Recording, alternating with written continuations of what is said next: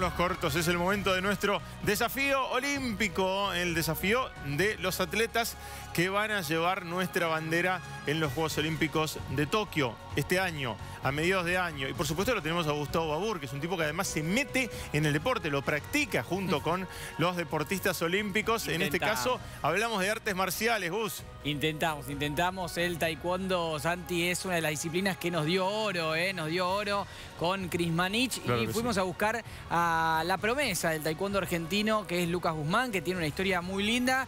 Y para que nos cuente, porque Lucas Guzmán, eh, además de ser la promesa, no es solamente un título, porque fue medalla de oro en los Panamericanos, porque fue un histórico medalla de bronce, tercer lugar en el Mundial del año pasado, algo que se consiguió solamente en contadas oportunidades, ¿eh? contadas oportunidades. Argentina logró ese eh, podio en, un Mundial. Por eso, por eso es uno de los hombres a buscar, uno de los, una de las figuras argentinas del, comité argentino y de la delegación argentina que está yendo a buscar ahora su lugar. ¿eh? Muchos de los argentinos eh, que a 167, 69, perdón, 169 días de los Juegos no tienen todavía el pase y lo fueron a buscar. Nosotros fuimos a ver su historia, ¿eh? y así es. Momento de desafío olímpico, estamos con Lucas Guzmán, un referente del taekwondo argentino, candidato para los Juegos Olímpicos que se vienen. Vamos a hacer tres desafíos en taekwondo.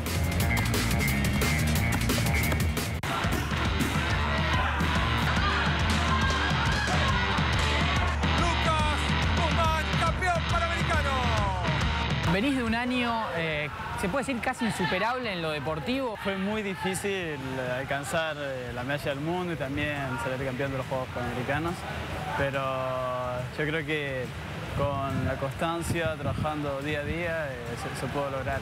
Y espero que este año sea aún mejor. ¿No te genera o el, alrededor tuyo no hay presión? ¿Tratan de, ¿Tratás de contenerlo eso de alguna manera?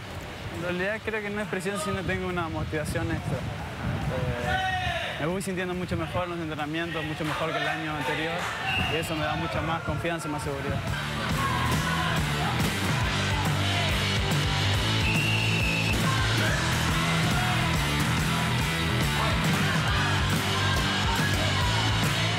Cuatro años arranqué mi carrera, me metí ahí en el ¿Cuatro años?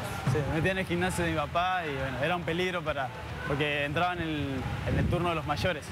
Entonces todos ahí, yo era la, mascota del equipo, me, tiraban de brazo en brazo. ¿Cómo fue esa, decisión de poner un gimnasio? Arrancamos primeramente con la mitad del gimnasio. Después, poco a poco fuimos y ahora está 10 por 10 el, gimnasio que está, en casa. ¿Lo hizo él en tu, casa para vos? Claro, exclusivamente para, para que puedan entrenar ahí. 2018, en, en, noviembre, ahí me entero que mi mamá tiene cáncer.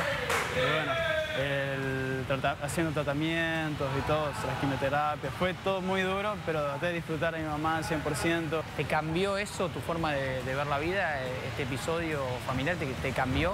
Yo creo que sí, eh, eh, mi madurez, eh, mi forma de ver las cosas.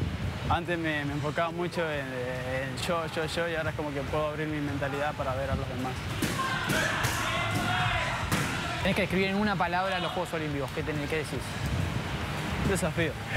¿Lo ves posible? ¿Te, ves como Chris Manich con una medalla?